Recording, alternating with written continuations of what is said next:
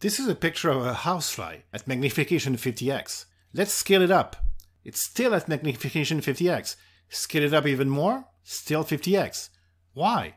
It's because the magnification factor of an image is defined relative to the size of the details that can be distinguished by a middle-aged human with good vision, which is roughly 0.1 millimeter or 100 microns.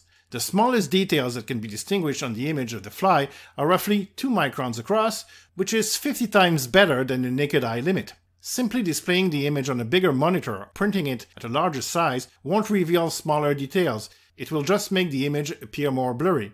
By the way, with an optical microscope operating in visible light, maximum magnification is around 400x, so the smallest details are a quarter of a micron across or 250 nanometers, slightly smaller than the wavelength of blue light.